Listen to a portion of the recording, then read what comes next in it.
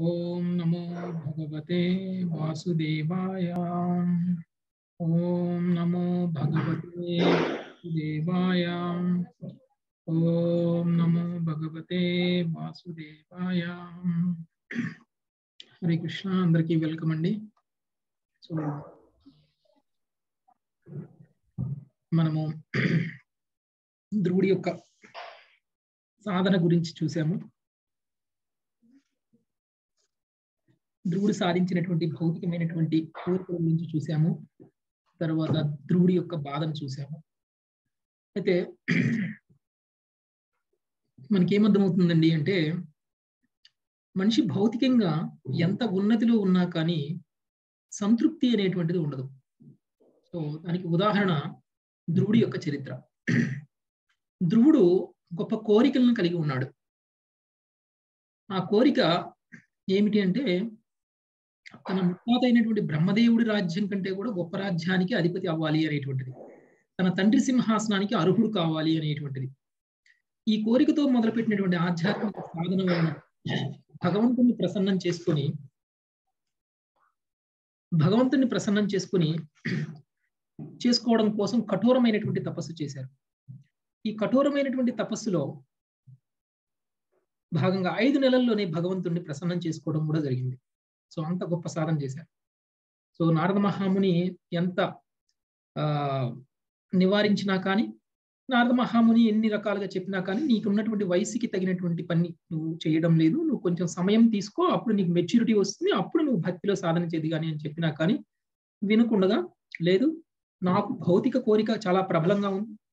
నేను ప్రతీకారం తీర్చుకోవాలి ప్రతీకార భావంలో ఉన్నాను నేను. కాబట్టి నాకు నేను కావాలి అనుకున్నది పొందడానికి అవసరమైనటువంటి సాధన ఏమిటో నాకు తెలియజేయండి అని అన్నారు. నారదుడు లాంటి గొప్ప గురువు దొరికారు ధ్రువుడికి. సో నారదు లాంటి గొప్ప గురువు యొక్క మార్గదర్శనంలో ధ్రువుడు సాధన చేశారు. సో సాధన చేసిన తరువాత భగవంతుడు చాలా ప్రసన్నుడయ్యారు. సో భగవంతుడు ప్రసన్నుడయ్యి ఆ ప్రసన్నుడైనప్పుడు మరి ధ్రువుడికి అప్పటికి మరి ఏమి వేద పాఠశాలల్లో నేర్చుకున్నటువంటి జ్ఞానం ఏం లేదు. అయినా సరే భగవంతుణ్ణి ఆ భగవంతుడిని చూసి ఏం మాట్లాడాలో కూడా తెలియలేదు. మరి భగవంతుడికి స్థుతి చేయటం కూడా తెలియలేదు. ఎప్పుడైతే భగవంతుడు తన శంకుతోటి తన నుదుటి మీద టచ్ చేశారో స్పర్శించారో అప్పుడు తనకి వేద జ్ఞానం మొత్తం కూడా వచ్చేసింది. సో ఆయన స్థుతించారు. ఆయన స్థుతి చాలా మెచ్యూర్డ్గా ఉంది. సో భగవంతుడి యొక్క గొప్పతనాన్ని మొత్తం కీర్తించేశారు. అయితే ఈ సాధనంతా అయిపోయే సమయానికి ధ్రువుడి యొక్క మొత్తం మారిపోయింది. ఆలోచన విధానం కూడా మారిపోయింది. అంటే భౌతికమైనటువంటి కోరికలతోటే భగవంతుడి దగ్గరికి వచ్చినా కానీ సాధన కంప్లీట్ అయిపోయేసరికి భౌతికమైనటువంటి కోరికలు ఏవైతే తను కోరుకున్నాడో అవన్నీ కూడా తుచ్చమైనటువంటి కోరికలు అనేటువంటి భావంలోకి వచ్చేసాడు సో భగవంతుని సాక్షాత్కరించుకున్న తర్వాత తనకి వేరే ఏది కూడా అంతకంటే గొప్పది అని అనిపించలేదు. అందుకనే భగవంతుని ఏం కోరుకుంటారు? ఎప్పుడూ నేను నీ సన్నిధిలో ఉండేలా ఎప్పుడూ నేను నీకు భక్తియుత సేవ చేసేలాంటి ఒక వాతావరణాన్ని నాకు కలుగజేయి. నాకు భక్తిలో పతనం చెందకుండా నాకు శుద్ధ భక్తుల యొక్క సాంగత్యాన్ని ఇవ్వు అనేటువంటి విషయాన్ని కోరుకున్నారు అయితే భగవంతుడు మరి మనసులో ఉన్న కోరికలను కూడా తెలుసుకుంటారు కాబట్టి మనసులో ఉన్నటువంటి కోరిక అయినటువంటి బ్రహ్మదేవుడి రాజ్యం కంటే గొప్ప రాజ్యాన్ని ఆయనకి ఇచ్చేశారు అంటే ఇప్పుడు చూడండి ధ్రువలోకాన్ని ఆయనకి ఇచ్చేశారు ధ్రువలోకం యొక్క గొప్పతనం గురించి కూడా మనం ఇంతకుముందు తెలుసుకున్నాం. ధ్రువలోకము ఎక్కడ ఉంటుంది అంటే ఆధ్యాత్మిక లోకంలో ఉంటుంది. ఆధ్యాత్మిక లోకంలో అంటే ఆ లోకం చుట్టూ కూడా అనేక లోకాలు సర్వం మొత్తం లోకాలన్నీ కూడా తిరుగుతూ ఉంటాయి. సో అలాంటి ఒక లోకానికి అధిపతిని చేశారు ధ్రువుడికి. ముప్పై ఆరు వేల సంవత్సరాల పాటు తన తండ్రి యొక్క సామ్రాజ్యానికి రాజుగా కూడా ఉండమని చెప్పేసి అంగీకరిస్తారు. సో అంటే ఒక రకంగా చూస్తే భౌతికంగా తను కోరుకున్న దానికంటే కూడా ఎక్కువగానే ఇచ్చేశారు భగవంతుడు. ఆయన ఒక రాజ్యమే కావాలనుకున్నారు. ధ్రువలోకం కావాలనుకున్నారు. ధ్రువలోకాన్ని ఇచ్చేశారు. తండ్రి రాజ్యం కావాలనుకున్నారు. తండ్రి రాజ్యము ఇచ్చేశారు. మనకి శక్తి సామర్థ్యాలు కూడా ఇచ్చేశారు. శక్తి సామర్థ్యాలు ఎలా అంటే తనకి ఇంద్రియాలు చాలా దృఢంగా ఉంటాయి. ఎప్పుడూ కూడా యవ్వనుడుగా ఉంటారు. సో ఎప్పుడు యవ్వనుడుగా ఉండేటువంటి వాడి యొక్క శక్తి యవనంలో ఎలాంటి శక్తి ఉంటుందో అదే శక్తిని ఆయన మొత్తం జీవితం మొత్తం కూడా కంటిన్యూ చేయటం అనేటువంటిది చాలా అరుదైనటువంటి విషయం అనమాట సో ఇవన్నీ ఇచ్చారు. మరి భౌతికంగా ఇంత ఉన్నతిని సాధించినటువంటి వ్యక్తికి అసంతృప్తి ఎందుకు? సో ఏం లోపం ఉంది? ఎందుకు ఆయన అసంతృప్తికి చెందారు? అంటే సో ఆయనలో ఉన్నటువంటి భావన అప్పటికి ఏమిటి అంటే భగవంతుణ్ణే సాక్షాత్కారం చేసుకోగలిగినటువంటి నేను అష్టాంగ యోగులు సైతం వేల వేల సంవత్సరాల పాటు జన్మల జన్మల పాటు తపస్సు చేసి కూడా భగవంతుని సాక్షాత్కరించుకోలేకపోయారు వాళ్ళు. నేను ఐదు నెలల పాటు మాత్రమే తపస్సు చేసి భగవంతుణ్ణే సాక్షాత్కారం చేసుకున్నాను కానీ నేను పొందింది ఏంటి? సో నేను పొందినటువంటిది తుచ్చమైనటువంటిది సర్వజీవులకి మోక్షాన్ని ఇవ్వగలిగినటువంటి భగవానునే దర్శనం చేసుకోగలిగిన నేను అందరి గురువుల్లోకెల్లా ఉత్తమ గురువు అయినటువంటి నారద మహాముని గురువుగా పొందినటువంటి నేను సాధించినటువంటి ఏదైతే ఉందో అది చాలా తుచ్చమైనటువంటిది ఇన్ని భౌతికమైనటువంటి ఆ విషయాలకి అధిపతిగా మారినటువంటి ధ్రువుడు అనుకుంటున్నటువంటి మాట అంటే మనం మనం ఎంత గొప్ప వాళ్ళమైనా సరే ఎంత భౌతికంగా ఉన్నతిలో ఉన్నా సరే మనకి అసంతృప్తి అనేది ఉంటుంది అనడానికి ధ్రువుడు యొక్క ఫీలింగ్సే మనకి ఒక ఉదాహరణ. సో ఆయన ఏమంటున్నాడు? ఎవరికైనా సరే ముక్తిని ఇవ్వగలిగినటువంటి భగవంతుడి దగ్గరికి వెళ్ళి నేనేం కోరుకున్నాను? నాకేం దక్కింది? శక్తి దక్కిందా? శక్తి మళ్ళీ సామ్రాజ్యం మళ్ళీ ధ్రువలోకం. సో ఇవన్నీ కూడా ఆయనకి గొప్ప అనిపించలేదు సో భగవంతుడి సన్నిధిని కోల్పోయాను నేను భగవంతుడి యొక్క ధామాన్ని కోల్పోయాను నేను ఆధ్యాత్మికతని కోల్పోయాను నేను ఆధ్యాత్మిక శరీరాన్ని కోల్పోయాను నేను నేను ఈ భౌతికమైనటువంటి విషయాల పట్లనే కోరికలు ఉన్నవాడిగా అయిపోయాను. అందుకని అంత గొప్ప వ్యక్తి అంత గొప్ప దేవాది దేవుణ్ణి దర్శనం చేసుకున్న నేను ఒక చక్రవర్తి దగ్గరికి వెళ్ళి నూకలు అడిగినట్లయిపోయింది నా పరిస్థితి. సో నేను ఆయన అంటే ఆయన పొందినటువంటి ఏదైతే ఉందో అదంతా కూడా ఒక చక్రవర్తిని నూకల భిక్షంగా అడిగినటువంటి దాంతో సమానంగా. సో అని ఈ ఈ విధంగా ఆయన ఆలోచిస్తూ తను పొందినటువంటి దాంతో సంతృప్తి చెందకుండా బాధతో ఉన్నారన్నమాట ధ్రువుడు. సో అంతవరకు మనం చదువుకున్నాము. సో ఈ రోజు నుంచి ఇంకా ఏం జరగబోతుంది అనేటువంటి మైత్రేయుడు ఇంకా మనకి చెప్పబోతున్నారు. ధ్రువుడు ఇంకా ఏం ఆలోచించారు? తర్వాత ధ్రువుడి విషయంలో ఏం జరిగింది అనేటువంటిది ఈ రోజు మైత్రేయుడు మనకి తెలియజేస్తారు నాలుగవ స్కందం తొమ్మిదవ అధ్యాయం ముప్పై ఆరవ శ్లోకం మైత్రేయ ఉవాచ మైత్రేయువాచ నవై ముకుందస్య పథారవిందయో నవై నవై ముకుందస్య ముకుందస్య పదారవిందయో పదారవిందయో రజోజుషస్తాత భవాదృశా జనా రజోజుషస్తాత భవాదృశా జనా వాంఛంతి తద్ధాస్యం కృతేర్ధమాత్మనో వాంఛంతి తద్ధాస్యమృతేర్ధమాత్మనో యదృచ్ఛయా లబ్ధ మనః సమృద్ధయః యదృష్టయా లబ్ధమనఃసమృద్ధయః శ్రీదేవి కాజా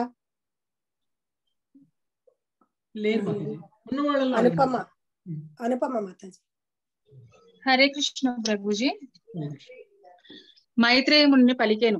విదుర ముకుందుని అంటే ముక్తినిచ్చు దేవదేవుడు.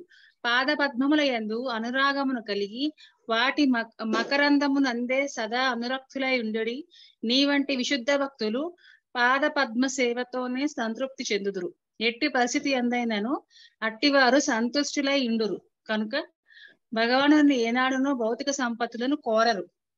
ఓకే సో ఇక్కడ యాక్చువల్కి విదురుణ్ణి ఉద్దేశించి మైత్రేయుడు మాట్లాడుతున్నారు. సో విదురుణ్ణి శుద్ధ భక్తుడుగా పొగుడుతున్నారు.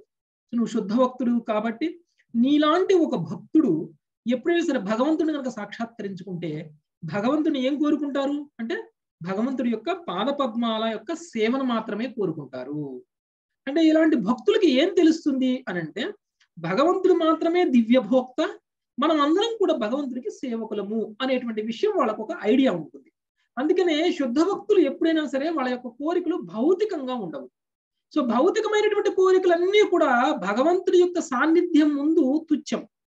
సో అందుకని విధుడిని ఉద్దేశించి ఒకవేళ నువ్వు అయినట్టేదే అంటే ఆ ఒకవేళ పా నీకు భగవంతుడి యొక్క పాద పద్మాలయడ నీకున్నటువంటి అనురాగం వల్ల ఓకే దానిని సేవించటం వల్ల వచ్చేటువంటి ఆనందం నీకు తెలుసు కాబట్టి విశుద్ధ భక్తులు ఎప్పుడూ కూడా పాద పద్మాలను వదిలి భౌతిక సుఖాలు కావాలి అని కోరుకోరు అనేటువంటి విషయం చెప్తారు.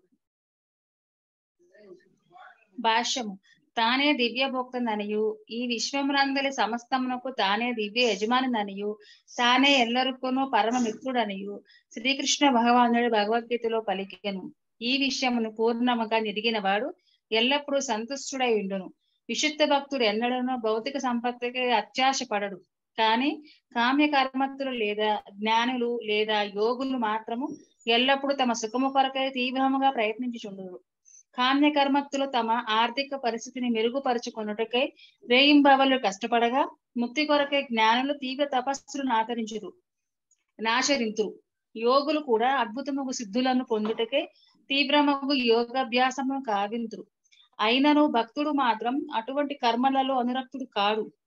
సిద్ధులు గాని ముక్తిని గాని భౌతిక సంపత్తిని గాని అతడు కోరడు. కృష్ణ సేవలో నిరంతరము నెలకొల నెలకొనగలిగినంత వరకు అతడు ఎట్టి జీవన స్థితి ఎందైనను సంతుష్టుడై ఉండును. భగవత్పాదములు ఆపమంటారు ప్రభుజీ?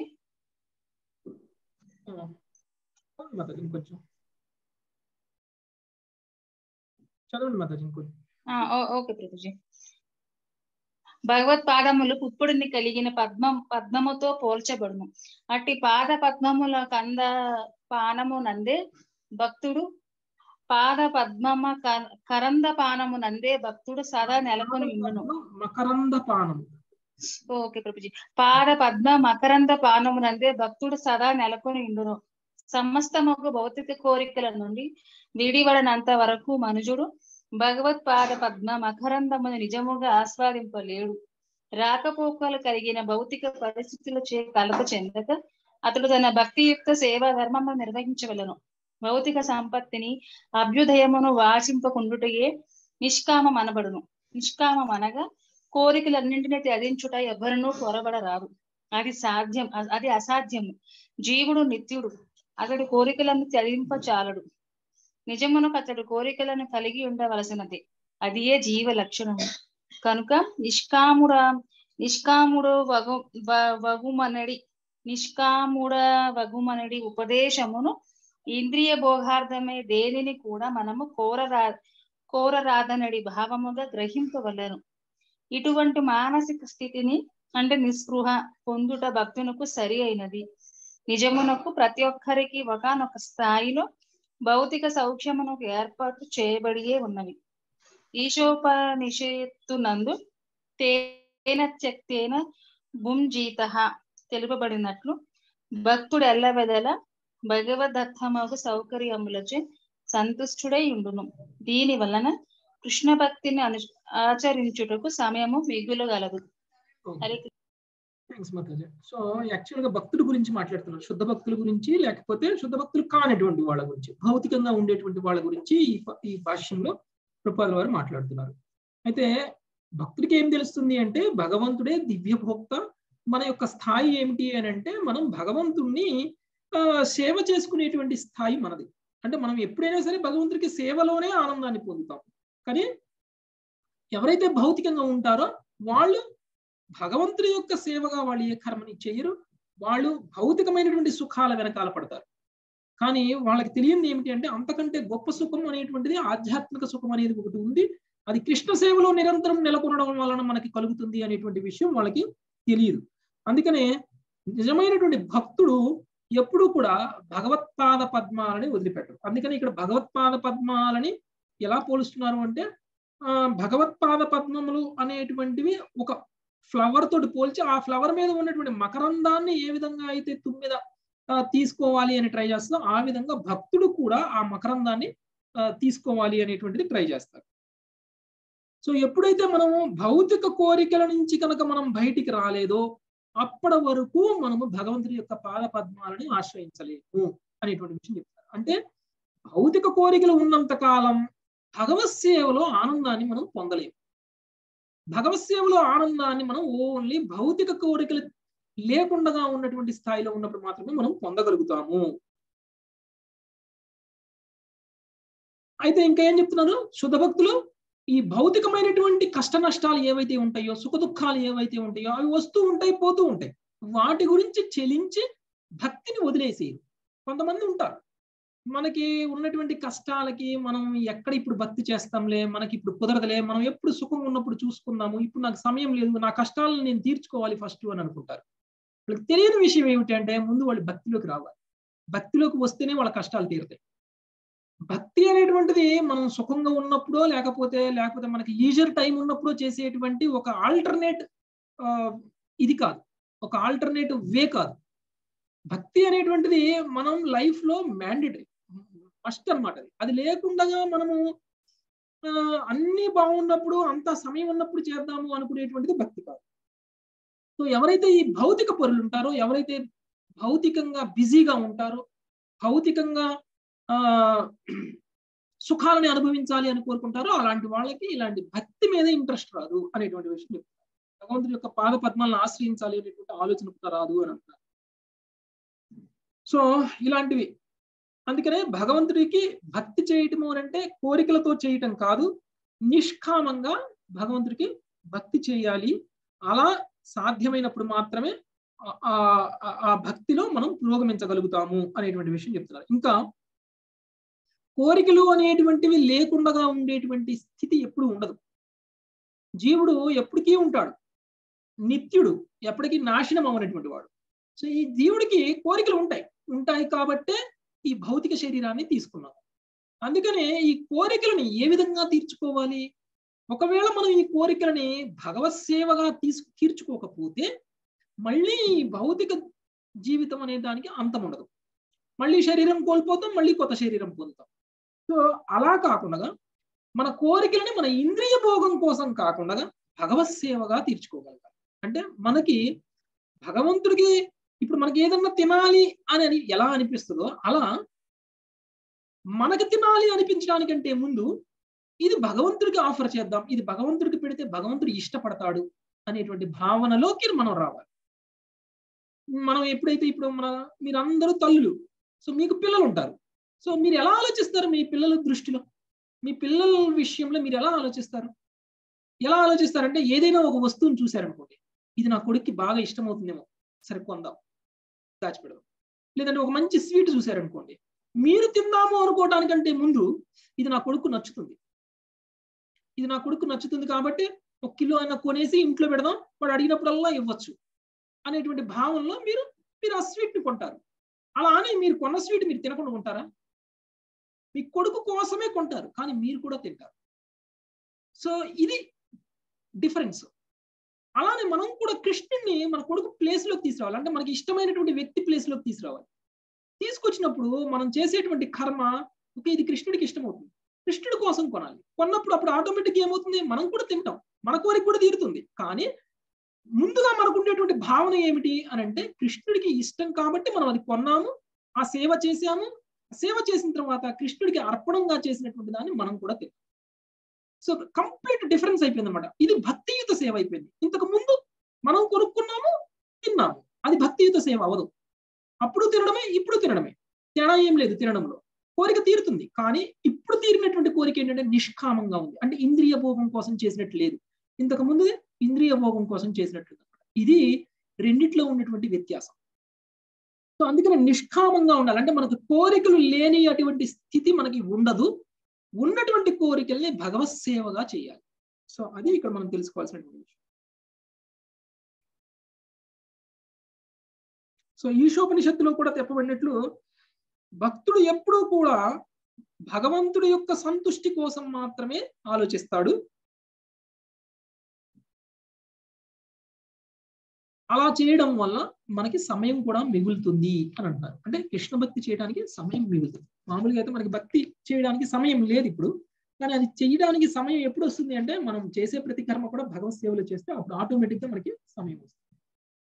నెక్స్ట్ మాతాజీ ముప్పై ఏడు. ఆకర్ణ్యాత్మజమాయాంతం. ఆకర్ణ్యాత్మజమాయాంతం. సంపర్యేత యథాగతం. రాజాన శ్రద్ధదే భద్రం రాజానం అభద్రస్య కుతో మమ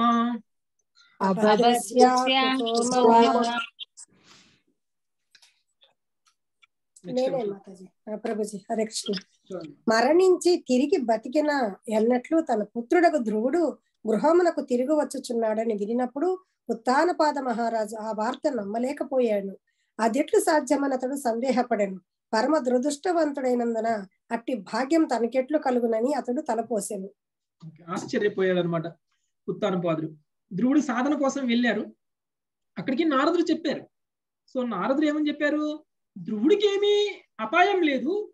ధ్రువుడు భగవంతుడి యొక్క రక్షణలో ఉన్నాడు. భగవంతుడి యొక్క రక్షణలో ఉన్నటువంటి వ్యక్తికి డేంజర్ అనేది ఎప్పుడు ఉండదు.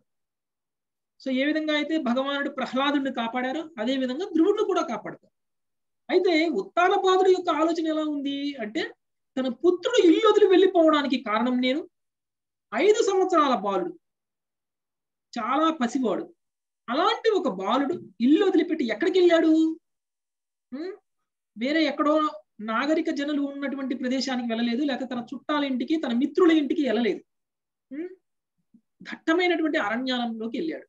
దట్టమైనటువంటి అరణ్యంలో క్రూరముగాల యొక్క భయం ఉంటుంది సో ఇప్పుడు ఇంత చిన్న పిల్లవాడు అంత క్రూర మృగాల నుంచి తను తాడు ఎలా కాపాడుకోగలుగుతాడు? కాపాడుకోలేడు. అందుకని నారదుడు భగవంతుడి యొక్క రక్షణ ఆయనకు ఉన్నది అనేటువంటి విషయం చెప్పినా కానీ ఒక తండ్రిగా కొడుకు మీద ఉండాల్సినటువంటి ఒక సహజమైనటువంటి భావం ఎలా ఉంటుందో అలానే ఉంది. ఏమో ఆయన చెప్పాళ్ళే కానీ ఎలా ఉంటాడో. క్రూర మృగాలు ఉంటాయి వస్తాడో రాడో తిరిగి. ఏమవుతుందో ఏం చేస్తా ఎలా ఉంటారో అనేటువంటిది ఒక కన్సర్న్ అనేది ఆయనకు ఉందన్నమాట. అంటే ఆశలన్నీ కోల్పోయాడు. తిరిగి వస్తాడు అనేటువంటి ఆశల్ని కోల్పోయాడు. అంత చిన్న పిల్లవాడు కాబట్టి తిరిగి ఫైట్ చేసి తను తాను రక్షించుకోగలిగేటువంటి శక్తి తనకు లేదు కాబట్టి తిరిగి వస్తాడు అనేటువంటి ఆలోచనని కోల్పోయాడు. అందుకని ఎప్పుడైతే ఈయన సాధన కంప్లీట్ చేసుకొని తిరిగి వచ్చేసాడో అప్పుడు ఆశ్చర్యపోయాడు. నేను చాలా దురదృష్టవంతుని అనుకున్నాను. నేను మళ్ళీ నా కొడుకుని తిరిగి నేను చూడగలుగుతాను అనేటువంటి ఆశ నాకు లేదు కానీ నాకు ఎంత భాగ్యం ఉంది అతను మళ్ళీ నేను తిరిగి కలుసుకోగలుగుతున్నాను అతను మళ్ళీ నేను చూడగలుగుతున్నాను.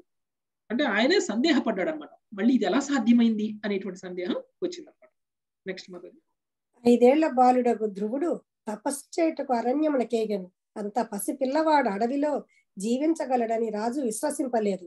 ధ్రువుడు మరణించనేనని అతడు నిశ్చయించుకోను. కనుకనే ఆ బాలుడు తిరిగి వచ్చు ఇంటికి తిరిగి వచ్చుచున్నాడనే సమాచారం అతడు విశ్వసింపచాలకైపోయాను అతనికి ఆ వార్త మరణించిన వాడు బ్రతికి వచ్చునని చెప్పినట్లుగానే ఉండెను. కనుక దానిని అతడు నమ్మలేదు. ధ్రువుడు ఇంటి నుండి వెడలిన పిమ్మట ఉత్తానపాదుడు తానే దానికి కారణమని భావించి తన పరమ దురదృష్టవంతునిగా తలచెను. కనుకనే మృత్యురాజ్యము నుండి తన పుత్రుడు తిరిగి వచ్చుట సాధ్యమైనప్పటికీ పరమ పాపి అయిన తనకు పోయిన పుత్రుని తిరిగి పొందగలిగినంతటి భాగ్యం లేదని అతడు తలిచను. ఇక్కడ ఇంకొక రకమైనటువంటి భావాన్ని యాక్చువల్గా చూడండి.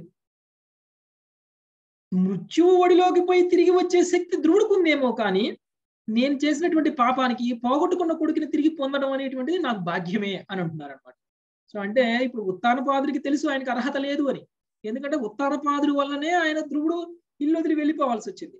సో అందుకనే నేను చాలా పాపిని అని భావిస్తున్నారు. అది ఒక ప్యూర్ హార్ట్ ఉన్నటువంటి వాడు ఆలోచించేటువంటి విధానం. అంటే ఉత్తానపాదుడు కూడా గొప్పవాడే. అందుకనే ఆయన ఆలోచన విధానం ఇలా ఉంది. అందుకనే ఆయన ఏమనుకుంటున్నాడు? సరే ఆయనకి అదృష్టం ఉంది. ఆయనకి శక్తి ఉంది. ఆయనకి దేవుడి యొక్క కరుణ ఉంది. ఆయన మృత్యువు యొక్క ఒడిలోకి వెళ్ళి కూడా తిరిగి రాగలిగాడు. కానీ నాకెక్కడుంది అంత అదృష్టం? నేను ఎలా పొందగలుగుతున్నాను మళ్ళీ నా తిరిగి కొడుకుని? అని ఆయనకు ఆశ్చర్యం. అంటే ఆయన చేసినటువంటి ఆ ఆయన చేసినటువంటి పాపాన్ని ఆయన అర్థం చేసుకోగలిగారు. సో అది కూడా ఒక పవిత్రత ఉన్నటువంటి వాడు మాత్రమే అర్థం చేసుకోగలుగుతాడు. సో ఎవరైనా సరే తన తప్పును తాను గ్రహించడం అనేటువంటిది అది సాధ్యమయ్యే విషయం కాదు. మామూలు విషయం కాదు. కానీ ఉత్తానపాదుడు తెలుసుకోగలిగాడు. సో అందుకనే నేను చాలా తప్పు చేశాను. నాలాంటి ఒక పాపాత్ముడికి తిరిగి పుత్రుణ్ణి ఇస్తే వరం ఇచ్చినట్లే. కాబట్టి అంత వరానికి నేను అర్హున్నా అని ఆయన భావిస్తున్నాడు ప్రభుజీ చిన్న ఇది డౌట్ ప్రభుజీ. ఇప్పుడు ఉత్తానపదుడు చాలా గొప్ప భక్తుడు ప్లస్ ఆయన చాలా బాగా రాజ్యం వెళ్ళేవాడు అదంతా మనము విన్నాము. కానీ అది చిన్నదానికి ఒక ఆడ మనిషికి వాల్యూ ఇచ్చి ఇలా చేయడం అంటే అసలు ఎలా అర్థం చేసుకోవాలి ప్రభుజీ? అంత గొప్ప భక్తులు. మనది ఇప్పుడు ఫస్ట్ ధ్రువుడి యొక్క చరిత్ర ద్వారా మనకి భగవంతుడు ఏదో ఆ, ఆ. అది అది ఒక ఇంపార్టెంట్ రెండవది ఓకే. ఉత్తానపాదులు లాంటి గొప్పవాడు కూడా మాయ ప్రభావంలో పడతారు. ఓకే. భగవత్ చింతన క్షణం మాయ ప్రభావం చాలు. సో అదే కదా ఇప్పుడు జరిగింది కూడా. సో తను పుత్రుడికి ఇవ్వాల్సినటువంటి ప్రేమను కనుక ఇచ్చి ఉన్నట్లయితే తన భార్య యొక్క మోహం లేకుండా పుత్రుడికి ఇవ్వాల్సినటువంటి ప్రేమను కనుక ఇచ్చి ఉన్నట్లయితే ఇదంతా జరిగి ఉండేది కూడా కాదు. అదే కృష్ణ. ప్రభుజీ ఇంకొక విషయం అర్థం చేసుకోవచ్చా ప్రభుజీ? మనము విధి విధానాలలో చెప్తుంటాం కదా ప్రభుజీ అంటే మగవాళ్ళు ఆడవాళ్ళ సంగత్యానికి కొంచెం దూరంగా ఉండాలి అని. అది కూడా ఒక కారణం ఏమైనా కావచ్చా ప్రభుజీ? అంటే ఇప్పుడు స్త్రీ అనేటువంటి ఆకర్షణ ఏదైతే ఉంటుందో దానికి కొన్ని పరిమితులు ఉండాలి. ఆకర్షణ ఉండకుండా అది సాధ్యం కాదు. కానీ దానికి కొన్ని లిమిట్స్ ఉండాలి. మనము విచక్షణ కోల్పోయే విధంగా ఆకర్షణ ఉండకూడదు. ఏది మంచి ఏది చెడు కూడా తెలుసుకోలేనంత స్థాయిలోకి స్త్రీ యొక్క ఆకర్షణకి గురి కాకూడదు. ఉత్తానపాదుడి పరిస్థితి అదే. భార్య స్థాయి దాటారు కదా ప్రభుజీ. అంటే గొప్ప భక్తుడు కదా ప్రభుజీ. ఆయన పూజలు అవన్నీ చాలా అయినా కానీ మాతాజీ ఆయన భార్యకి ఏ విధంగా లొంగిపోయాడు? తన కొంగుకి కట్టేసుకుంది అనమాట అందుకని ఎక్కువ భార్య ప్రేమను పొంది ఎక్కువ భార్యకి బానిస అయిపోతారు అలాంటి వాళ్ళకి విచక్షణ కోల్పోతారు.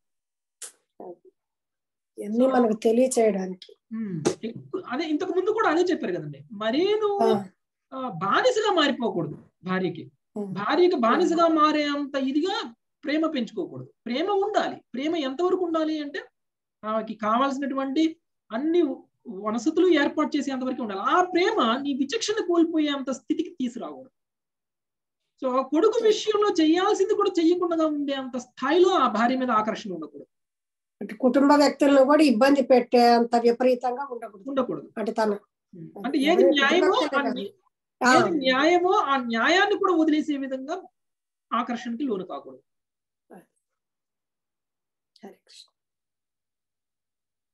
శ్రద్ధాయ వాక్యం దేవ. శ్రద్ధాయ వాక్య దేవా ఒక్క నిమిషం. శ్రద్ధాయ వాక్యం దేవర్షే శ్రద్ధాయ శ్రద్ధాయ వాక్యం వాక్యం దేవర్షే హర్ష వేగేన దర్శిత హర్షవేగేన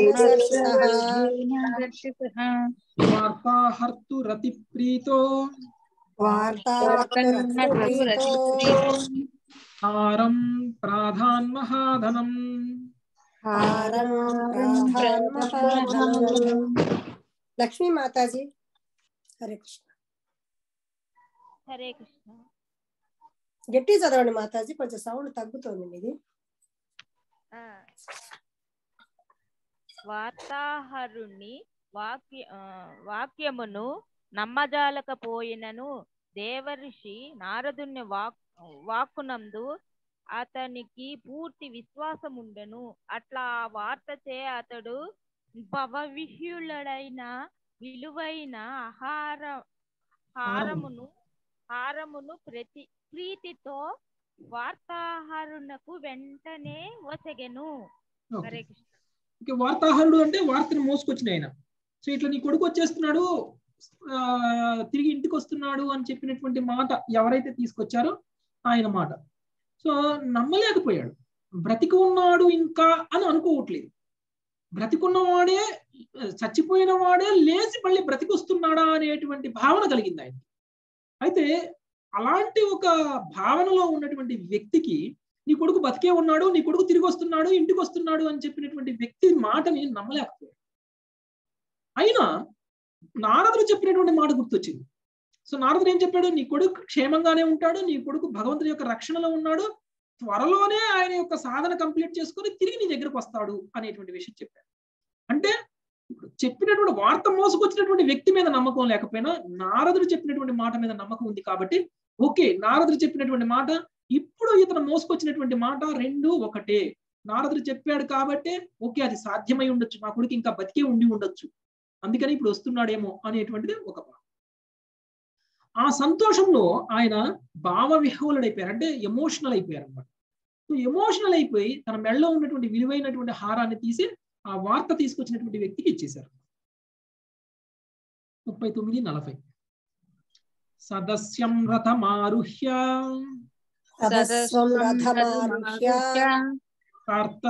పరిష్కృతం కార్తస్వర పరిష్కృతం బ్రాహ్మణై కుల వృద్ధైశ్చ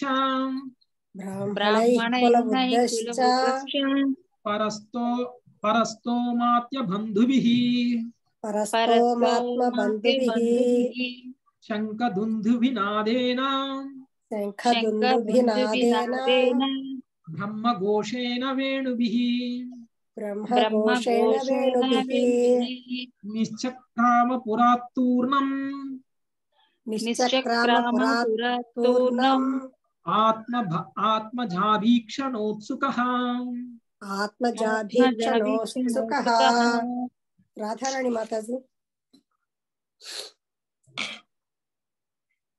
రాలేదా రాధారాణి మాతాజీ హరే కృష్ణ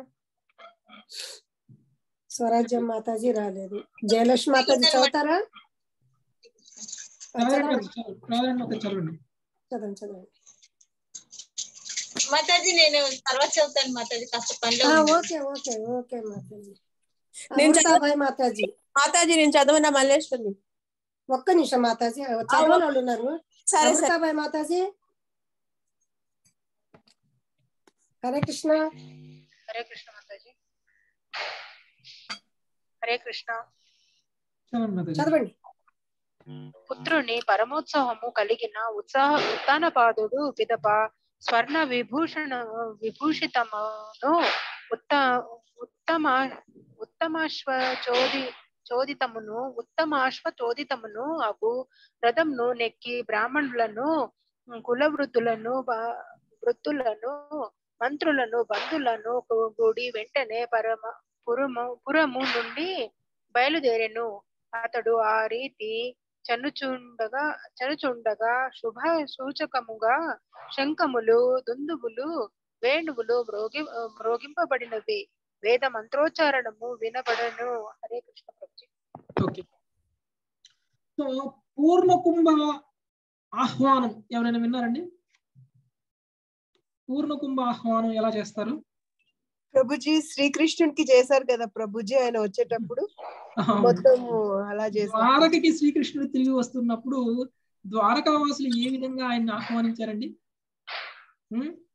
వేద మంత్రోచ్చారణతోటి ఆహ్వానించారు. సో అలాంటి ఒక ఆహ్వానాన్ని పలకడానికి ఉత్తానపాదుడు ధ్రువుడి కోసం రెడీ అయిపోయారు. అందుకనే పుత్రుణ్ణి చూడడానికి ఎంతో ఉత్సాహం పెరిగిపోయింది దానికి ఆ వార్త విన్న వెంటనే ఆయనకి ఉత్సాహం రెట్టింపు అయిపోయింది పుత్రుణ్ణి చూడాలి అనేటువంటి భావన పెరిగిపోయింది. ఇంకా స్వర్ణ విభీషితమును అంటే బంగారంతో తయారు చేయబడినటువంటి రథం. ఉత్తమ అశ్వచోదితమును అంటే మంచి గుర్రాలతోటి లాగబడేటువంటి ఒక రథాన్ని. అది కూడా ఆ రథం కూడా బంగారంతో ఉందంట. అలాంటి ఒక రథాన్ని ఎక్కి బ్రాహ్మణులని కుల వృద్ధులని మంత్రులని బంధువులని కూడి పురము నుండి బయలుదేరారు. అంటే వీళ్ళందరినీ తీసుకెళ్ళారు వీళ్ళందరితోటి ఆహ్వానం తెలియజేస్తున్నారు ఎంత మంది మార్గలంతో వచ్చి ఆహ్వానం పలికితే అంత గ్రాండ్గా ఉంటుంది అనమాట దానికి తోడు బ్రాహ్మణులను కూడా తీసుకెళ్తున్నారు. ముఖ్యమైనటువంటి విషయం వాళ్ళుంటే వేద మంత్రాల యొక్క ఉచ్చారణ చేస్తూ ఆ ఆహ్వానం చేస్తారు. అంటే ఒక వ్యక్తిని ఆహ్వానించేటువంటి భావం అనేటువంటిది ఇంపార్టెంట్. సో ఆ భావం అనేటువంటిది ఏ విధంగా ఆహ్వానిస్తున్నాము అనేటువంటి దాంట్లో ఆయన యొక్క భావం బయటపడుతుంది. ఏ విధంగా అయితే కృష్ణుని ఆహ్వానించేటప్పుడు మంది మార్బలంతో గజములతోటి మళ్ళీ ఇదే విధంగా శంఖాలు దుందువులు మోగించుకుంటూ వేణువుని ఊస్తూ వేద మంత్రాల ఉచ్చారణ చేస్తూ ఎలా అయితే కృష్ణుని ఆహ్వానించారో ఆ లెవెల్లో ఆహ్వానించడానికి వెళ్ళారనమాట ఇప్పుడు ఆ ధ్రువుణ్ణి ఆహ్వానించడానికి. సో ధ్రువుడికి కూడా అంత అర్హత ఉంది.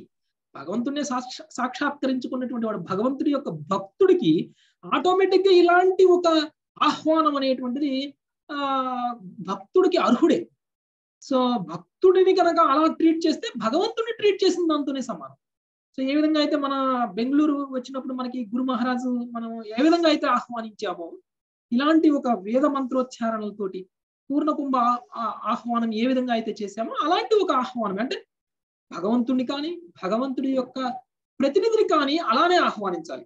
సో ఇప్పుడు ధ్రువుడు భగవంతుడి యొక్క కరుణ పొందినటువంటి వ్యక్తి.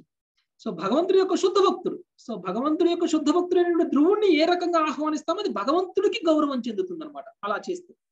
సో ఈయనకి తెలియకుండానో తెలుసో ఆయన ఒక దైవ అంటే ఒక భక్తి సేవలానే చేస్తున్నారు ఇది కూడా. సునీతి ప్రభుజీ. ఒకటి డౌట్ నాకు. చన్నుచుండు అనగా ఏంటి ప్రభుజీ? అతడు ఆ రీతి చన్నుచుండగా శుభ సూచకముగా శంఖములు అవి ఉంది కదా. చన్నుచుండు అనగా నాకు వెళ్ళడం అవ్వలేదు. వెళ్ళడం పోవడం. చన్నుచుండగా అనగా వెళ్తుండగా వెళ్తుండగా అంటే అలా వెళ్తుండగా సునూతి సురుచిశ్చాస్య. సునీతి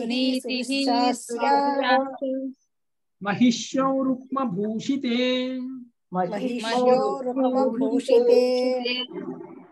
ఆరుహ్య శిబికాం సార్ధం ఆరోగ్య శిబికాం సార్ధం ఉత్తమేనాభిజగ్మతు ఉత్తమేనాభిజగ్మతుః. అమృత్ అది ఆ, మల్లేశ్వర మాతాజీ హరే హరే కృష్ణ కృష్ణ ఆ హరే కృష్ణ ఉత్తానపాద మహారాజు యొక్క ఇరువురు భార్యలు సునీతి సురుచి అనువారులు. మరియు అతని ఇంకొక పుత్రుడగుడు ఉత్తముడు వారి అందుండిరి. రాణులు పల్లకి పల్లకి అందు ఆసనులై ఉంది చదవన ప్రభుజీ? భాష్యము. ధ్రువుడు పురమును వీడిని పిమ్మట రాజు మిగిల దుఃఖాక్రాంతుడయ్యను. కానీ నారద ముని నారద ముని యొక్క కరుణాపూర్ణమగు వాక్కులతో అతడు కొంత శాంతించి ఉండెను. సునీతి యొక్క మహద్భాగ్యము మరియు సురుచి యొక్క దుర్ దుర్భాగ్యమును అతడు తెలుసుకొనగలను. దానికి సంబంధించిన సత్యమంతియు రాజప్రసాదమున ఎల్లరకు విదితమై ఉండెను. అయినను ధ్రువుడు తిరిగి వచ్చుచున్నాడనే వార్త ప్రస ప్ర ప్రాసాదమున చేరినప్పుడు అతని తల్లి యగు సునీతి కరుణాహృదయమున వలను ఘన వైష్ణవుని జనని అయినందును సవతి యగు సురుచిని ఆమె తనయుడకు ఉత్తముని గూడి ఒకే పల్లకలో చనుటకు ఏమాత్రము సంకోచింపలేదు. సునీతి అంటే మహా ఘన వైష్ణవుడకు ధ్రువుని తల్లి యొక్క గొప్పతనమే అది. హరే కృష్ణ. సో సునీతి యొక్క గొప్పతనం గురించి చెప్తున్నారు. చూడండి యాక్చువల్గా సురుచి వల్లనే ధ్రువుడు ఇల్లు వదిలి వెళ్ళిపోయారు.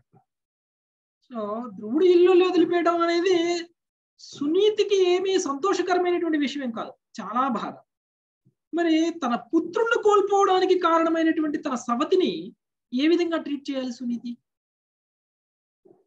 అది మనమైతే మాత్రం దాన్ని చాలా సీరియస్గా తీసుకొని వాళ్ళతో మాట్లాడకుండా ఉండడం వాళ్ళతోటి వైరం పెట్టుకోవడం వాళ్ళతో గొడవ పెట్టుకోవడం వాళ్ళని ఇంటి నుంచి పంపించేయడం లేకపోతే ఇంకేదో ఇంకేదో కక్షలు పగలు తీర్చుకుంటాం. ప్రతి అనుక్షణము వాళ్ళని వేధిస్తూ ఉంటాం. కానీ సునీతి ఎలా ఉంది? సునీతి ఒక గొప్ప వైష్ణవి. సునీతి కూడా అందుకనే ఆమె పుత్రుడు కూడా గొప్ప భక్తుడయ్యాడు. సో అంత గొప్ప పుత్రుణ్ణి పొందినటువంటి ఆమె సహజంగానే ఒక గొప్ప స్వభావాన్ని కలిగి ఉండి ఉండాలి. అలాంటి స్వభావం లేకపోతే ఆమెకు అలాంటి ఒక గొప్ప పుత్రుడు కలిగి ఉండడం అనేది సాధ్యం కాదు. అందుకని మరి ఆల్రెడీ వాళ్ళు కొడుకును కోల్పోయినటువంటి బాధలో ఉన్నారు. ఆ బాధలో ఉన్నటువంటి సమయంలో నారదుడు ఎప్పుడైతే వచ్చి పర్వాలేదు నీ కొడుకు తిరిగి వస్తాడు. సాధన త్వరలోనే కంప్లీట్ చేసుకొని తిరిగి వచ్చేస్తాడు. అనే విషయం చెప్పడం వలన వాళ్ళకు కొంత ఊరట కలిగింది. సో ఇది సునీతి యొక్క కొంచెం ఊరట మాత్రమే. కానీ ఆమెకు ఉన్నటువంటి ఈ దౌర్భాగ్యానికి కారణం కొడుకును కొంతకాలమైనా కోల్పోవడానికి కారణం మాత్రం సురుచియే. అయినా సరే సురుచిని సురుచి యొక్క పుత్రుడైనటువంటి ఉత్తముణ్ణి కూడా తన రథంలోనే ఎక్కించుకొని తీసుకొని వెళ్తుంది ధ్రువుణ్ణి ఆహ్వానించడం కోసం. అది ఆ తల్లి యొక్క గొప్పతనము. అది ఒక వైష్ణవుడి యొక్క తల్లి. ఆమె కూడా ఒక వైష్ణవి అయినడం వల్ల ఆమెకున్నటువంటి ఆ గొప్పతనం కారణంగానే ఆమె అలా చేస్తుంది అని చెప్తున్నారు.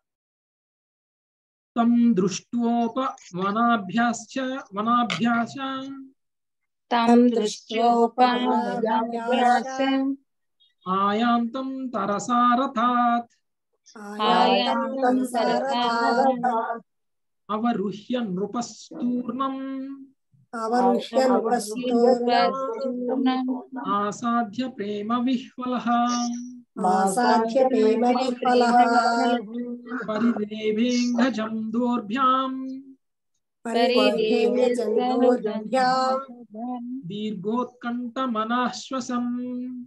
విహ్వల ఆసాధ్య ప్రేమ విఫలః పరిదేవేంఘజం దోర్భ్యాం పరిదేవ్య జంతోర్భ్యాం దీర్ఘోత్కంఠ మనశ్వసం ఇదొక్కసారి మళ్ళీ చెప్పరా విశ్వక్సేనాంగ్రి సంస్పర్శ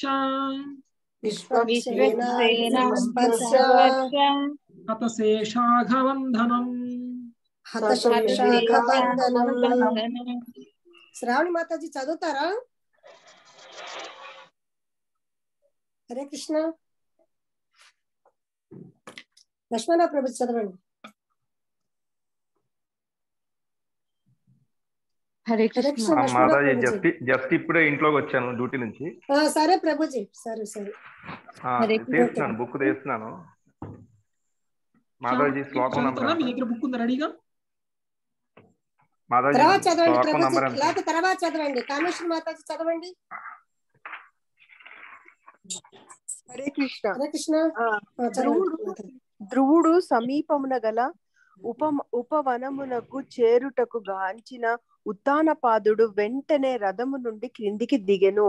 ధ్రువుని చూడ చిరకాలం నుండి ఆతృతతోనున్న అతడు అంతటా ఆ బాలుని ఆలింగనము చేసుకొనుటకు ప్రేమానురాగములతో ముందుకేగెను. దీర్ఘ శ్వాసను తీయుచు రెండు చేతులతో అతనిని కౌగలించుకొనెను. కాని ధ్రువుడు పూర్వము వలె లేడు. దేవాది దేవుని పాద పద్మ స్పర్శచే అతడు పూర్తిగా పవిత్రుడై ఉండెను. సో ధ్రువుని చూశారండి. ఈ ఏ విధంగా అయితే తప్పిపోయినటువంటి కొడుకుని మ్యూట్ చేయండి మాతాజీ. మల్లేశ్వర మాతాజీ మ్యూట్ చేయండి. సో ఏ విధంగా అయితే తప్పిపోయినటువంటి కొడుకుని చూడగానే ఎలాంటి ఒక భావన తల్లిదండ్రుల్లో ఉంటుందో అలాంటి భావనే ఆ తండ్రి అయినటువంటి ఉత్థానపాదుడికి కూడా కలిగింది. కొంచెం దూరంలో ఉన్నప్పుడే పక్కనే ఉన్నటువంటి వనంలో పుత్రుడిని చూశారు.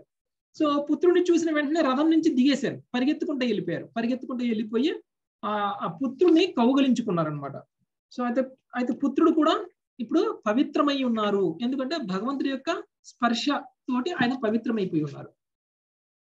ఆతాజిఘ్రం ముహుర్మూర్ధిం ముహుర్మూర్ధ్ని.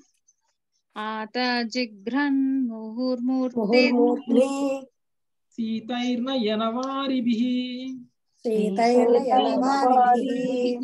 స్నాపయామాస తనయం. జాతోద్ధామ మనోరథః జాతోద్ధామ మనోరథః లక్ష్మణ ప్రభుజీ చదువుతారా హరే కృష్ణ మాతాజీ చదువు ధ్రువుని తిరిగి కలుసుకొనుటచే ఉత్తాన పాద మహారాజు యొక్క మనోరథము నెరవేరినది. ఆ కారణంన అతడు ధ్రువుని శిరమును మాటిమాటికి ఆఘ్రాణించి ఆనందాశ్రువులతో అతనిని అభిషేకించెను. భాష్యం. చదివిన ప్రభుజీ. మనిషి ఏడ్చినప్పుడు సహజముగా దానికి రెండు కారణములను ఏదేని మనోరథము తీరినప్పుడు గొప్ప ఆనందంతో అతడు ఏడ్చినచో అతని కనుల నుండి జాలు వారెడి అశ్రువులు చల్లగాను మనోహరముగాను ఉండును. కానీ దుఃఖాశ్రువులు మాత్రము వేడిగా నుండును. హరే కృష్ణ. సో ఎప్పుడైతే ధ్రువుణ్ణి కౌగిలించుకున్నారో ఆయన యొక్క భావం మొత్తం కూడా వ్యక్తం చేస్తున్నారు. సో మనసులో ఉన్నటువంటి కోరిక తీరిపోయింది. సో మనసులో ఉన్నటువంటి కోరిక తీరినప్పుడు కూడా అశ్రువులు వస్తాయి. కానీ ఆ అశ్రువులు చాలా చల్లగా ఉంటాయట. ఎప్పుడైతే దుఃఖం వల్ల వచ్చేటువంటి అశ్రువులు ఉంటాయో ఆ అశ్రువులు వేడిగా ఉంటాయి. సో అదే ఇక్కడ మనకి తెలుస్తుంది అనమాట ఆ ఆ చల్లని అశ్రువులతోటి ఆయన నింపేస్తున్నారు అనమాట సో ఆ విధంగా ఆయన్ని దగ్గరకు తీసుకొని ఆనందాశ్రువులతోటి ఆయనకి అభిషేకం చేసినట్లు చేసేసారు ఆయన్ని ఆయన తల మీద కూడా ముద్దులు పెడుతున్నారు అనమాట సో ఆ విధంగా ఆయన్ని దగ్గరికి తీసుకున్నారు. అభివంద్య పితుః పితుఃపాదం. ఆశీర్భిశ్చాభిమంత్రిత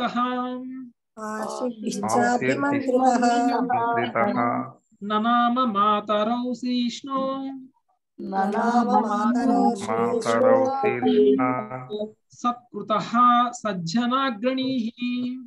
సత్కృత సజ్జనాగ్రణీ మాతాజీ ఆ, హరే కృష్ణ పిదప స- సజ్జనాగ్రణీయకు ధ్రువుడు తొలుత తండ్రిని తండ్రి పాదములకు నమస్కరించింది తండ్రి అతనిని పలు విధములుగా కుశల ప్రశ్నలు అడిగి ఆదరించింది అటు పిమ్మట ధ్రువుడు తన ఇరువురి తల్లులకు పాదాభివందనము సాగించాను. Okay so. సో ధ్రువుడు కూడా ఇంతకు ముందు ఆయనకి జరిగినటువంటి సంఘటనలకి రియాక్ట్ అయ్యే విధంగా ఇప్పుడు లేరు. ఎందుకంటే ధ్రువుడు పవిత్రం అయిపోయి ఉన్నారు సో పవిత్రమైనటువంటి ధ్రువుడు యొక్క ప్రవర్తన ఆటోమేటిక్గా ఒక శుద్ధ భక్తుడికి ఎలా ఉండాలో అలానే ఉంటుంది. సో తనకంటే పెద్దవాళ్ళు కాబట్టి తండ్రికి ఇద్దరు తల్లులకు కూడా ఆయన నమస్కరించారు అనమాట చదవండి మాట భాష్యం. ధ్రువుడు తన తల్లికే గాక సవతి తల్లికి కూడా ఎందుకై వందనము కావించెనని ప్రశ్నించవచ్చును. ఆమె ఆమె చేసిన అవమానము వలననే తాను ఇల్లు వేడవలసి వచ్చెను కదా. దీనికి సమాధానమేమనగా ఆత్మానుభవము ద్వారా పూర్ణత్వమును పడసిన పిమ్మట మరియు దేవదేవుని ముఖాముఖి కాంచిన తరువాత ధ్రువుడు భౌతిక కోరిక కల్మషము నుండి పూర్తిగా విడవడెను. ఈ భౌతిక జగత్తు యొక్క మానవ మానములను భక్తుడు పట్టించుకొనడు. కనుకనే శ్రీ చైతన్య మహాప్రభువు భక్తి యోగ నిర్వహణకై మనుజుడు గడ్డిపోచ కన్నా అణుకువ కలవాడు కావలనని పలికి వృక్షము కన్నను అధికముగా ఓర్పును కలిగి ఉండవలనని ఉపదేశించిరి. అందువలనని ఈ శ్లోకం శ్లోకమును ధ్రువుడు సజ్జనాగ్రణి అని వర్ణింపబడను. విశుద్ధ భక్తుడు సజ్జనులలో సర్వశ్రేష్ఠుడై ఉండును. ఇతరుల ఎడ అతడెట్టి శత్రుభావమును కలిగి ఉండడు. శత్రుత్వం వలన ద్వైతభావము కలుగుట ఈ భౌతిక జగత్తు యొక్క కల్పనయే. సృష్టియే పూర్ణముగా యథార్థమైనట్టి ఆధ్యాత్మిక జగమున అట్టి విషయం ఏదీనూ ఉండదు. హరే కృష్ణ. భౌతిక జగత్తులో మాత్రమే ద్వంద్వ భావన ఉంటది ఆధ్యాత్మిక జగత్తులో ద్వంద్వ భావన అనేటువంటిది ఉండదు అని చెప్తున్నారు. అయితే మరి శుద్ధ భక్తులు ఎప్పుడైనా సరే భౌతిక జగత్తులో ఉన్న కానీ ఆధ్యాత్మిక స్థితిలోనే నెలకొని ఉంటారు. అందుకనే వాళ్ళకి శుద్ధ భక్తులు భౌతిక జగత్తులో ఉన్నప్పుడు కూడా మరి మన చుట్టూ ఉన్నటువంటి వాళ్ళకి ఆ ద్వంద్వ భావన అనేది ఉంటుంది కానీ శుద్ధ భక్తులకు అలా ఉండదు. అంటే మానవ మానములు అనేటువంటివి ఉండవు. సో వాళ్ళు ఎప్పుడు కూడా కంటెంటెడ్ గానే ఉంటారు. అంటే వాళ్ళు ఎప్పుడు కూడా ఇదవరు అనమాట మానవమానాలకి రియాక్ట్ అయ్యే పరిస్థితుల్లో వాళ్ళు ఉండరు అనమాట అందుకనే శుద్ధ భక్తులు ఎలా ఉండాలి అనేటువంటి శ్రీ చైతన్య మహాప్రభు శిక్షాష్టకంలో క్లియర్గా చెప్పారు. గడ్డిపోచ కంటే అనుకువగా ఉండాలి. గడ్డిపోచ కంటే కూడా నేను ఇంకా ఆ, తక్కువ స్థాయిలో ఉన్నటువంటి వాడిని అనేటువంటి భావనలో ఉండాలి భక్తుడికి. అంతేకాకుండా ఓర్పు విషయానికి వస్తే మహావృక్షానికి ఉన్నటువంటి ఓర్పు కంటే కూడా ఎక్కువగా ఉండాలి. ఇది శుద్ధ భక్తుడి యొక్క లక్షణం. మరి ధ్రువుడు మీరు భగవంతుడి యొక్క దర్శనం చేసుకున్నారు అని అంటే శుద్ధ భక్తుడు అయిపోయారు. సో శుద్ధ భక్తుడు కాబట్టి ఇప్పుడు ఆయనలో ఇంతకు ముందు ఉన్నటువంటి ధ్రువుడికి ఇప్పుడు ఉన్నటువంటి ధ్రువుడికి మధ్య చాలా తేడా ఉంది. ఇంతకు ముందు ప్రతీకారం తీర్చుకోవాలి అనేటువంటి భావనలో ఉన్నటువంటి ధ్రువుడు. ఇప్పుడు భగవంతుడు దర్శనం చేసుకున్న తర్వాత శుద్ధ భక్తులు అయిపోయారు. శుద్ధ భక్తులు అయిపోయారు కాబట్టి మానవ మానవులతో సంబంధం ఉండదు. అందుకని తన సవతి తల్లి ఎవరైతే తనకి శత్రువు అయిందో ఇంతకు ముందు అదే సవతి తల్లిని చూసి కూడా ఇప్పుడు శత్రువులా భావించట్లేదు. ఆమెను చూసి కూడా ఆయన నమస్కరించారు. పాదాభివందనం చేశారు. అది చెప్తున్నారు సురీచిస్తం సముత్తాప్య సముత్తాప్య పాధావనతమర్భకం వనతమర్కం పరిష్వజ్యాహ జీవేతి. పరిష్వజ్యాహ జీవేతి.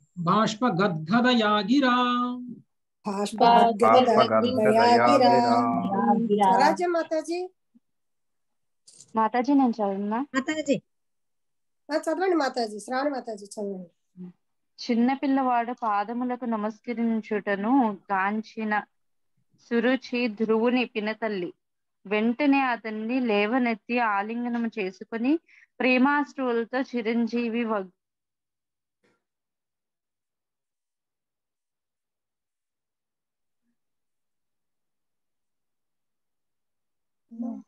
వినిపించిందా మాతాజీ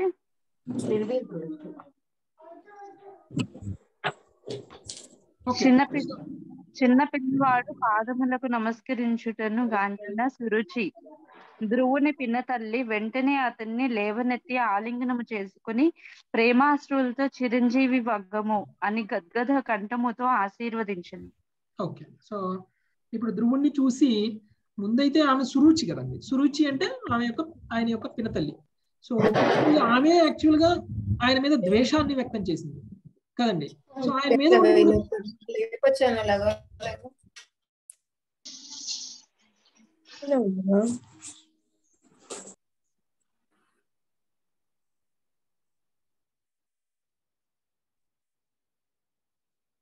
ప్రభుజీ అన్మ్యూట్ చేసుకో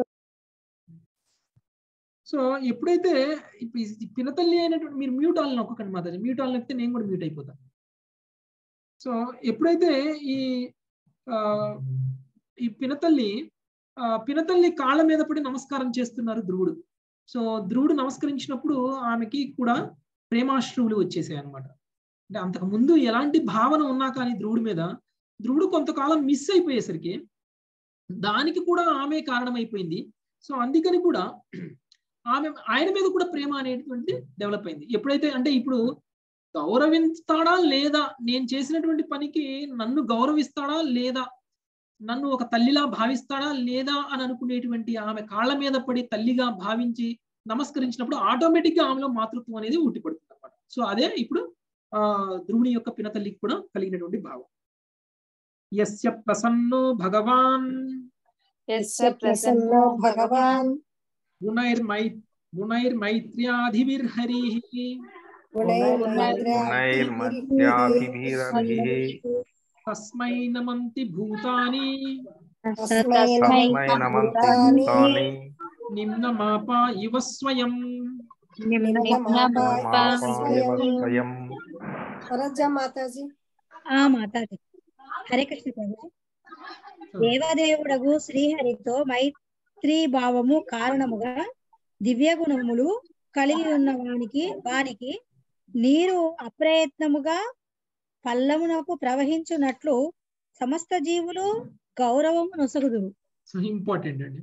సో గౌరవం పొందాలి అంటే మనం ఏదో పేరు ప్రతిష్టలు తెచ్చుకునే అవసరం లేదు. భగవంతుడికి ఇష్టమైనటువంటి వాళ్ళగా కనుక మనం మారిపోతే ఆటోమేటిక్గా మనకి సమాజం మొత్తం గౌరవిస్తుంది. నేను ఒక సాధు పురుషుడిగా మారిపోతే నువ్వు ఒక భగవంతుడికి భక్తుడిగా మారిపోతే సమాజంలో నీకు గౌరవం పెరుగుతుంది. సో ఆటోమేటిక్ ఏ విధంగా అయితే నీరు పల్లానికి వెళ్తుందో ఆ విధంగా గౌరవం అనేది అడగకుండానే భక్తుడికి వచ్చేస్తుంది అనమాట శుద్ధ భక్తుడికి వచ్చేస్తుంది. ఆ విధంగానే ఇప్పుడు తన పినతల్లి కూడా గౌరవిస్తుంది అనమాట తన పుత్రుని. నెక్స్ట్ భాష్యం ధ్రువుని పట్ల ఏమాత్రము అనుకూలముగా లేనట్టి సురుచి ఎందులకై అతనిని చిరంజీవి కమ్ము అనుచు ఆశీర్వదించనని ఇచ్చట ప్రశ్న ఉదయించగలదు. ఆమె కూడా అతని శుభమునే వాంఛించినదని ఆశీర్వచనము యొక్క భావము. ఆ ప్రశ్నకి ఈ శ్లోకమున సమాధానమొసగబడినది ధ్రువుడు భగవద్గానుగ్రహమును వడిసెను. దానిచే అతని యందు కలిగిన దివ్య గుణముల వలన ప్రతి ఒక్కరూ అతనికి నీరు పల్లమునకు ప్రవహించినట్లు గౌరవమును ఆశీర్వాదమును పొసగవలసినదే. భవ భగవద్భక్తుడు ఎవ్వరి నుండి గౌరవమును కోరడు. ఆయనను అత- అతడెచ్చటి కేగినను ప్రపంచ జనులందరితోనూ గౌరవమందును. సమస్త ఉత్సవములకు మూల కారణమైన భగవానుని ప్రసన్నుని చేసిన భక్తుడు అప్రయత్నముగానే ఎల్లరకు ముదముగా కూర్చును ముదమును కూర్చును. అందువలన ఎల్లరూ అతనిని గౌరవింతురు. ఈ కారణమునే బృందావనమునందలి షడ్గోస్వాములు సమస్త విశ్వమునందు గౌరవింపబడుదురని శ్రీ శ్రీనివాసాచార్యులు పలికింది హరే కృష్ణ. అంటే మనం మనకి గౌరవం అనేది మనం కోరుకోకుండానే ఆటోమేటిక్ ఎప్పుడు వస్తుంది అంటే మనం శుద్ధ భక్తులుగా మారినప్పుడు వస్తుంది. సో ఇక్కడ బృందావనంలో షడ్గోస్వాముల గురించి మాట్లాడుతున్నారు. షడ్గోస్వాములు అంటే ఆ, వాళ్ళకి గౌరవం అనేది ఎలా ఉంటుంది అని అంటే ఎవరైనా సరే ప్రపంచంలో విశ్వంలో ఎవరైనా సరే వాళ్ళని గౌరవిస్తారు. సో అది ఎందుకు వచ్చింది వాళ్ళకి ఆ గౌరవం? వాళ్ళకు ఉన్నటువంటి ఆస్తిపాస్తులు చూసి రాలేదు. లేదా వాళ్ళకు ఉన్నటువంటి సమాజంలో వాళ్ళు చేసినటువంటి మంచి పనులు వాళ్ళకు వచ్చినటువంటి గౌరవం గురించి ఆ విధంగా వాళ్ళకి గౌరవం ఉండాలి. వాళ్ళకు వచ్చినటువంటి గౌరవం యొక్క కారణం ఏమిటి అంటే వాళ్ళు శుద్ధ భక్తులు కాబట్టి. భగవంతుడికి భక్తులయ్యారు కాబట్టి. అదేవిధంగా ధ్రువుడికి కూడా. ధ్రువుడు కూడా భక్తుడైపోయాడు కాబట్టి మరి ఇంతకు ముందు శపించినటువంటి తల్లి ఇప్పుడు దీవించింది. ఇంతకు ముందు నువ్వు మళ్ళీ చనిపోయి మళ్ళీ నా కడుపున పుట్టు అప్పుడు నీకు నీ తండ్రి యొక్క ప్రేమని నీ తండ్రి యొక్క సింహాసనాన్ని పొందేటువంటి అర్హతను నువ్వు పొందగలుగుతావు కాబట్టి నువ్వు వెళ్ళు అని అన్నది. అంటే ఒక ఒక శాపనార్థం పెట్టినటువంటి తల్లి ఇప్పుడు దీవిని ఇస్తుంది. ఏమని ఇస్తుంది? చిరంజీవి కమ్ము అని. సో ఆ చేంజ్ ఎందుకు వచ్చింది? అప్పటి ధ్రువుడికి ఇప్పుడు ధ్రువుడికి మధ్య ఉన్నటువంటి తేడా ఏదైతే మనం అర్థం చేసుకోవాలో అది అర్థం చేసుకుంటే మనకి ఆ చేంజ్ మనకి అర్థమవుతుంది. ఎప్పుడైతే మనం భగవంతుడికి శుద్ధభక్తులుగా మారిపోతామో అందరూ ఆటోమేటిక్గా మనల్ని గౌరవిస్తారు అందరూ మనల్ని ఆటోమేటిక్గా ప్రేమిస్తారు. సో అది ఇక్కడ మనకి సురుచి యొక్క ప్రవర్తనలో మార్పుని మనం ఈ విధంగా గమనించాలి అని చెప్తున్నారు ఉత్తమశ్చ ధ్రువశ్చోభా ఉత్తమశ్చ ధ్రువశ్చ సమశ్చ ధ్రువస్థో భావ అన్యోన్యం ప్రేమ విహ్వలౌ అన్యోన్యం అన్యోన్యం ప్రేమ విఫలౌ అంగసంగ అంగసంగా దుత్పుల అంగసంగాత్ ఉత్పలకౌ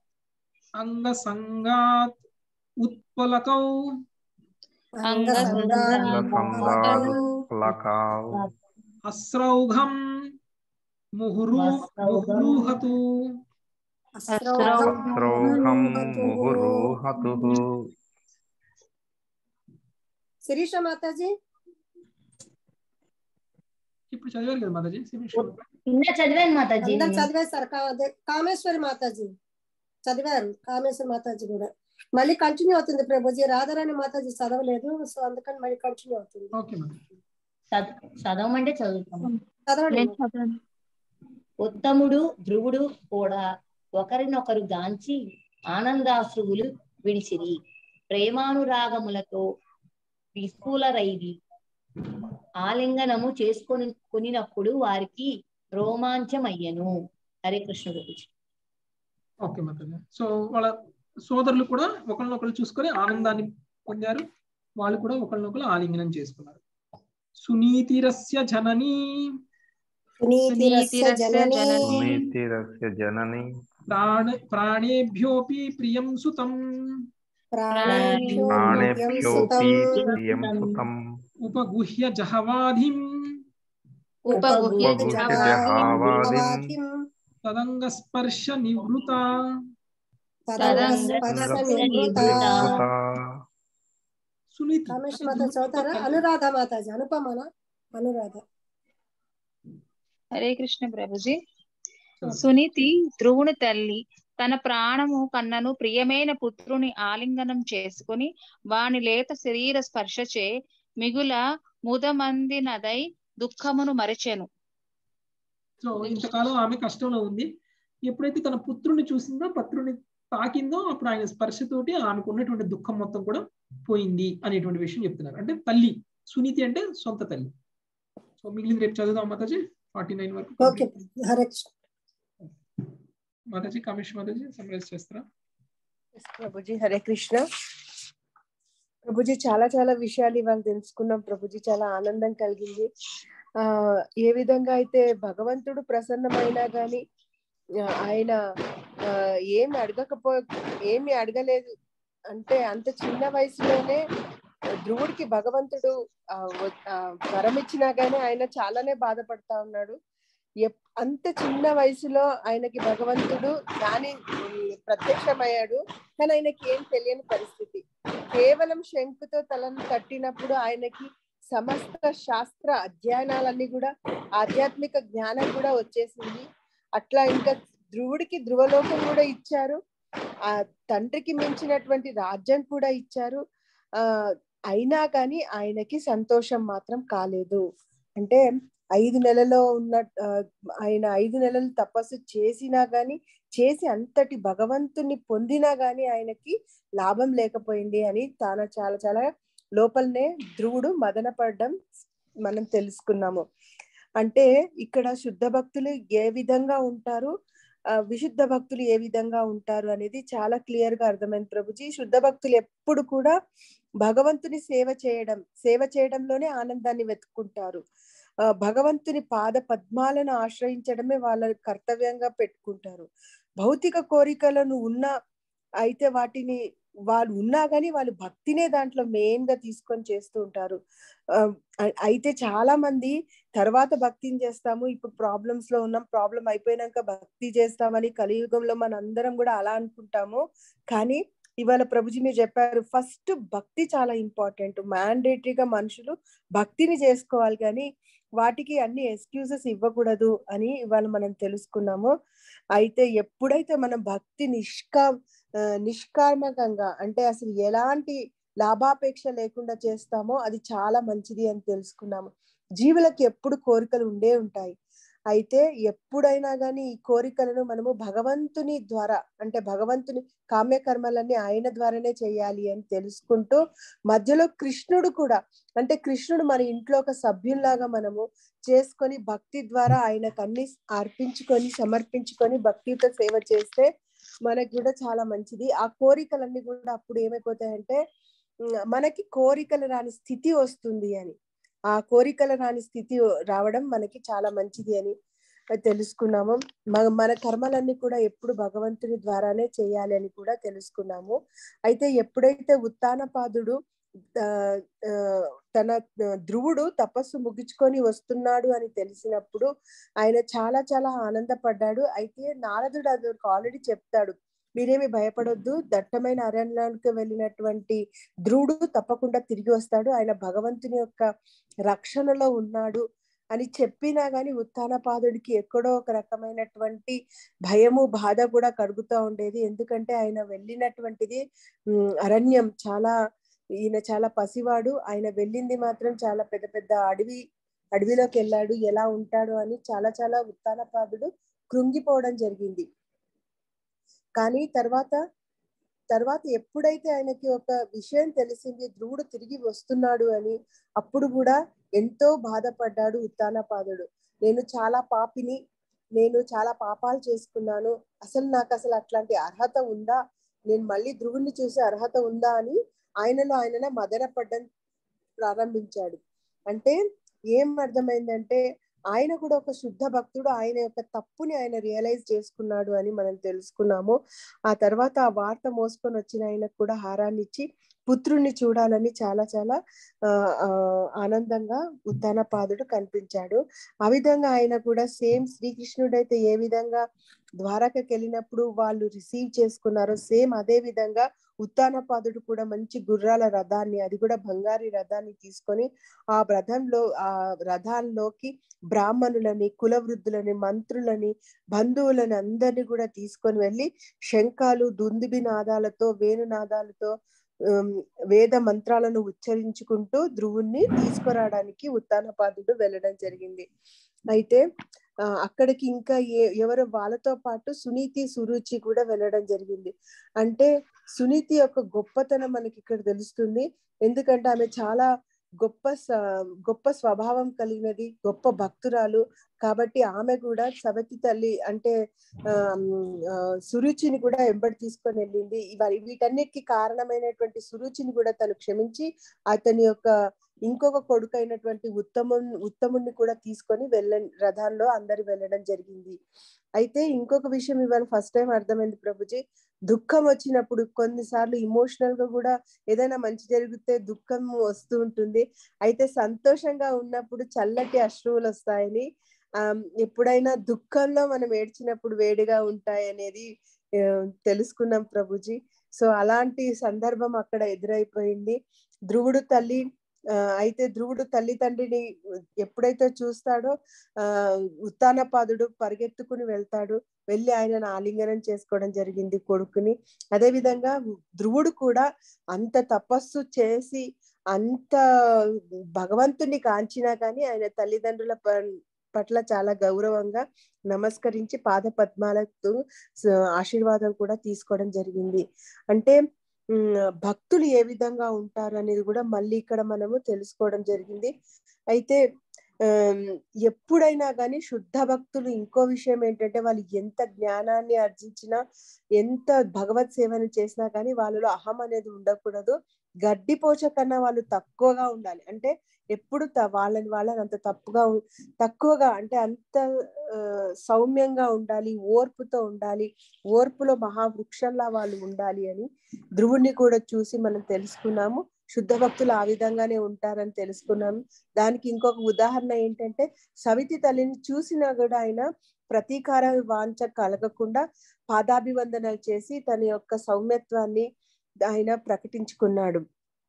అంటే ఆ తర్వాత తను కూడా సురీచు కూడా ఏం చేసింది? ఆయనని లేవనెత్తి ఆలంగనం చేసుకొని ఆయన కూడా చిరంజీవిగా ఉండు అని ఆశీర్వాదం ఇచ్చింది అనమాట అంటే ఏ ఎందుకు అలా జరిగింది ఇక్కడ అంటే భక్తుడు ఎప్పుడు కూడా అందరితో గౌరవింపబడతాడు. అలాంటి ఆమె కూడా ఆ విధంగా ధ్రువుణ్ణి ఆ ఆశీర్వాదం ఇచ్చి చిరంజీవిగా ఉండమని తెలుసు అని తెలుసు చెప్పింది. అదే విధంగా సోదరులు కూడా ఇద్దరు కలిసి ఆలింగనం చేసుకున్నారు. సో లాస్ట్కి సునీతి కూడా చాలా ఆనందించింది. తన కొడుకు మళ్ళీ వచ్చినందుకు ఆయన దుఃఖం అంతా కూడా ఆమె దుఃఖం అంతా కూడా సంతోషంగా మారింది అని అర్థం చేసుకున్నాం Prabhuji. Hare Krishna Prabhuji. Hare Krishna Mataji thank you very much ఎవరికైనా ఏమైనా ప్రశ్నలు ఉన్నాయండి